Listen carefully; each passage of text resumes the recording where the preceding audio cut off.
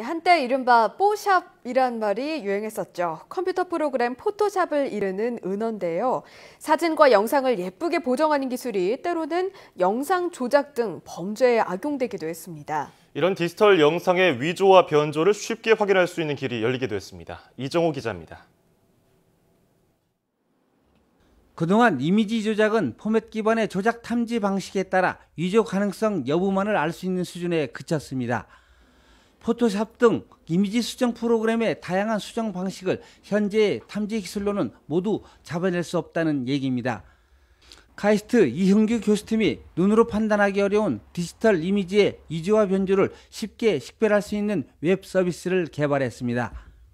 이미지에 조작이 가해졌을 때 그 조작이 일어났는지 여부 그리고 조작 유형 그리고 조작 어, 그 범위까지 estimation을 할 수 있는 예, 그런 기술들을 모아서 저희가 웹 서비스로 만들어서 저희가 공개를 한 것입니다. 연구팀은 복사와 붙여넣기, 변형 등 다양한 조작을 식별하기 위한 탐지 방식을 구축하고 디지털 이미지 변형이 내부의 통계적 특성을 변화시킨다는 점에 착안했습니다. 변형의 종류에 따라 통계적 특성이 달라지고 조작의 영역과 방식까지 측정할 수 있다는 설명입니다. 이번 연구는 이미지의 무결성 확인이 필요한 법원과 의료, 군사 등 다양한 분야에서 폭넓게 활용될 전망입니다.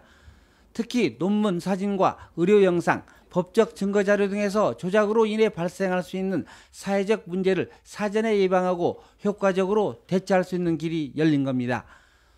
논문 수준으로 진행되던 기술이 일반에 제공됨으로써 사회 안전망 구축과 함께 위변조 탐지 기술의 새로운 전기를 마련할 것으로 기대됩니다. 문화, 그다음에 사회 분야, 법률 분야, 범죄라든가 다양한 분야에서 제기될 수 있는 문제를 우리가 과학적으로 이렇게 이것이 문제가 있다 없다를 얘기할 수 있는 그런 중요한 기술이라고 생각하고 있습니다.